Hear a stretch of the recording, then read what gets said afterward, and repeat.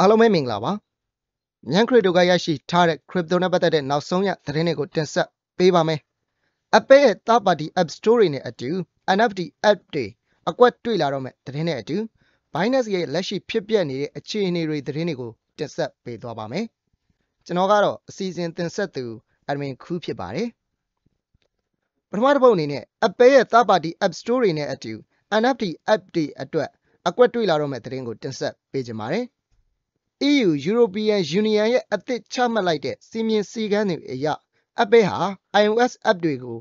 Apple App Store အပြင်တခြားနေရာတွေကနေပါသုံးလို့ရအောင်ခွင့်ပြုဖို့ရှိနေကြောင်းသိရပါတယ်။တကယ်လို့ဒီလိုဖြစ်လာခဲ့မယ်ဆိုရင်တော့ Android တွေမှာလိုပဲ Play Store ပေါ်မှာတင်လို့မရတဲ့ app တွေကိုတခြား website တွေ App Store တွေပေါ်ကနေ download ဆွဲပြီးသုံးစွဲနိုင်တော့မှာဖြစ်ပါတယ်။ဒါပေမဲ့ Europe မှာပဲအသုံးပြုလို့ရနိုင်ခြေရှိပြီး တခြားနိုင်ငံတွေမှာသုံးလို့ရမရကတော့မသေးကြသေးပါဘူး။ Apple ဟာဒီ feature ကိုအသစ်ထွက်ရှိလာမဲ့ iOS 17 update မှာတခါတည်းထည့်သွင်းပေးဖို့ရှိတယ်လို့လည်းသတင်းတွေထွက်နေပါတယ်။ဒါဟာဟိုတလောကဖြစ်ပျက်ခဲ့တဲ့ Apple နဲ့ NFT industry တို့ရဲ့ပွဲအတွက် NFT industry ဘက်ကအသာရသွားပြီလို့ဆိုနိုင်ပါတယ်။ Apple ရဲ့ App Store တွေပေါ်မှာ NFT နဲ့ပတ်သက်တဲ့ app တွေကိုစီကံတင်းကျပ်လာခဲ့မယ်ဆိုရင် App Store ပေါ်ကနေတိုက်ရိုက် download မဆွဲဘဲ NFT app ရဲ့ official website မှာ iOS app အတွက် download link ကိုထည့်ပေးလိုက်တာမျိုးတွေတွေ့လာရနိုင်ပါတယ်။ဆက်လက်ပြီးတော့ Binance မှာလက်ရှိဖြစ်ပျက်နေတဲ့အခြေအနေတွေသတင်းတွေကိုတင်ဆက်ပေးကြပါမယ်။နောက်လပိုင်းတွေအတွင်းမှာ Binance ရဲ့အခြေအနေဟာအနည်းငယ်မတည်မငြိမ်ဖြစ်လာနိုင်ကြောင်း Binance ရဲ့ CEO ဖြစ်တဲ့ CZ ကသတိပေးထားပါတယ်။အခုနောက်ပိုင်း Binance အကြောင်းမေးခွန်းထုတ်လာမှုတွေများပြားလာတာနဲ့အတူဖြည့်ရှင်းလာရတာတွေလည်းများပြားလာပြီးစိန်ခေါ်မှုတွေများပြားလာနိုင်တာကြောင့် ဝန်ထမ်းတွေကိုကြိုတင်သတိပေးထားတာဖြစ်ကြောင်းနဲ့ကြော်ဖြတ်နိုင်မယ်လို့လည်းမျှော်လင့်ကြောင်းဆိုပါတယ်။အခုလက်ရှိအခြေအနေဟာ crypto fund တွေအတွက်ခက်ခဲတဲ့စာမေးပွဲတစ်ခုကိုဖြေဆိုနေရတယ်လို့ဖြစ်နေကြောင်းနဲ့နောက်ပိုင်းမှာတော့ဒီအရာတွေဟာတမိုင်းတွင်ကြံခဲ့မှာဖြစ်ကြောင်းဆိုထားပါတယ်။ Binance ရဲ့အခြေအနေနဲ့ပတ်သက်လို့ကတော့ Binance ဟာနောက်ဆုံးအချိန်အထိရှင်သန်ကြံရစ်ခဲ့ဖို့အတွက်တိစောက်ထားတာလို့စီစားကဆိုပါတယ်